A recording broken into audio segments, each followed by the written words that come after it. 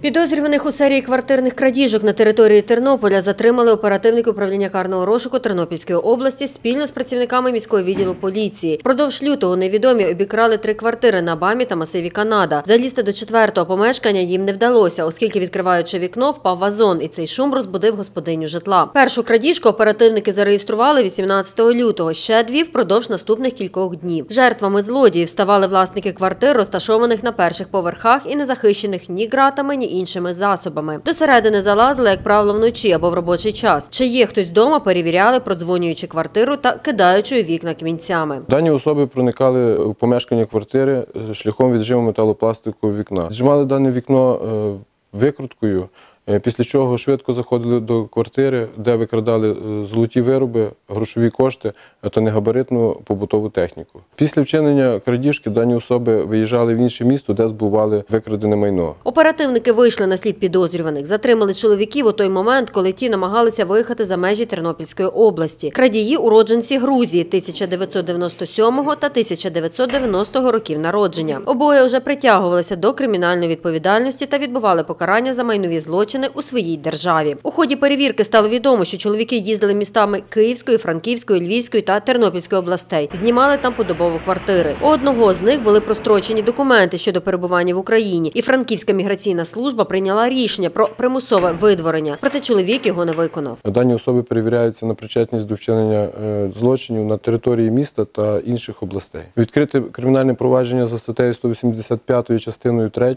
Санкція статті передбачає позбавлення волі на строк від 3 до 6 років.